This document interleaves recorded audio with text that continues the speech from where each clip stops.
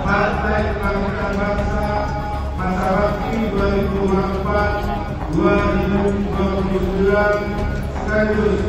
sebagai tugas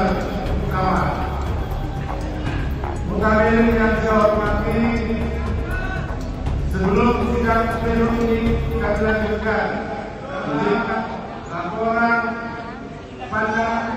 Dari setiap wilayah dan DPC-DPC yang kita pilihkan telah memberikan mandat sekaligus memohon kepada Dr. Abdul Muhaimin Iskandar untuk kembali menjadi Ketua Umum Dewan Pengurus Pusat Partai Kebangkitan Bangsa masa bakti 2024-2029 sekaligus mengucapkan sebagai mandataris tunggal